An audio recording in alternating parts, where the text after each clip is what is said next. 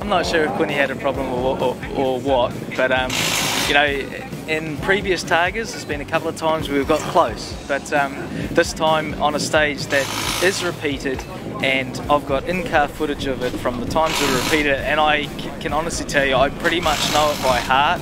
Um, so we did catch him, and finally, finally, we managed to uh, to pass Quinny in a stage. But you know, that's just um, that's just by the by. You know, like uh, he's a much heavier car um, wet, damp road. Our tyres are better suited to that sort of stuff. So it was just a perfect set of uh, circumstances for us to be able to do that. To uh, turned it around from a, a, pretty big deficit last night to. Um, to uh, yeah, I think we're leading now, so uh, it's been an awesome day. And the rain played into our hands. Our tyres gripped up well, and uh, the car went really well. It was just nice to turn around a car that was pretty average yesterday and uh, work on it and make it better. So we're stoked.